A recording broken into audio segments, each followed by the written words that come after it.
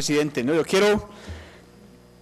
decirle al viceministro de Minas que este cargo de confiabilidad ya lleva nueve años, donde mes tras mes todos los colombianos hemos pagado nuestras facturas este cambio, este, este cargo por confiabilidad. ¿Cómo es que apenas hasta ahora, cuando tienen que responder por aquellas cosas a las que tenían que responder, por las que tenían que responder en el contrato, vienen a brincar a decir que es que eso estaba mal calculado, que es que el precio, el precio de escasez no era el adecuado, nueve años de recibir los recursos? Cuando usted firma un contrato de ese tipo, cuando usted se suscribe a esas condiciones, por supuesto tienen que tener claro cuáles son los riesgos, ellos saben cuáles son sus costos de producción, saben que sus costos de producción también están influenciados por el costo de los combustibles. Y cualquier economista en el mundo sabe que los precios de los combustibles varían montones. Esos cálculos del riesgo que tenían que asumir tenían que estar hechos desde el momento en que decidieron aceptar entonces el cargo por confiabilidad para que en estos momentos respondieran, claro, el aumento de, producción y demás, pero también con la estabilización de los precios. Y eso lo tenían que tener claro en el momento en que suscribieron los contratos. Esa gestión del riesgo tiene que ser una gestión del riesgo integral, porque estas coyunturas,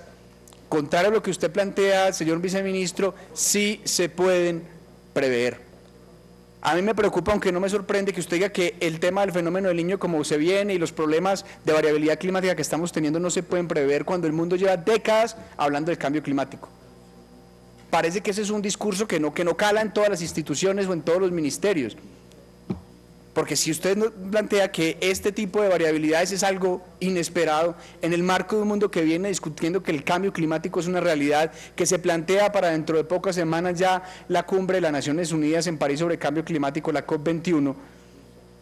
pues estamos desconociendo que todas las instituciones tienen que asumir un papel y que particularmente el sector que usted maneja tiene una enorme responsabilidad en transformar la matriz energética para adaptarse a ese cambio climático y en fomentar otros tipos de modelo de desarrollo distintos. A ese modelo de desarrollo extractivista que está imperando en nuestro país y que está vulnerando nuestros recursos naturales, afectando la posibilidad de tener un futuro como humanidad porque Colombia, que es un país rico en biodiversidad, rico en aguas, viene para atrás en los índices como el índice de Yale, de para atrás, de para atrás, como buena parte de América Latina, en la preservación de los recursos, de los recursos naturales. Y buena parte de este tema tiene que ver con la preservación de los recursos hídricos en uno de los componentes del índice de Yale. Entonces acá, señor viceministro, con todo el respeto, pienso que no se nos puede venir a decir acá que entonces, después de nueve años de estar pagando, tenemos que asumir nosotros un sobrecosto porque eso estaba mal calculado cuando ellos pudieron haber tenido esas previsiones desde el primer momento. Y lo otro, eh, para, ya para terminar, es esta política, esa transformación de la política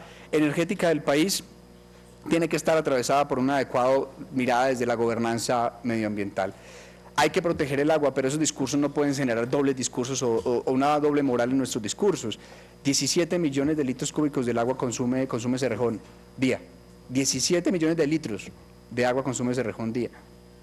Y nosotros entonces venimos acá a demandarle a todo el pueblo colombiano la política de ahorre agua, no sé qué, pero en Plan Nacional de Desarrollo, en políticas de desarrollo económico del país, nos la enfocamos con fuerza al desarrollo de la economía extractivista minera energética con las implicaciones que esto tiene para las reservas eh, hídricas de nuestro país. Muchas gracias, señor presidente.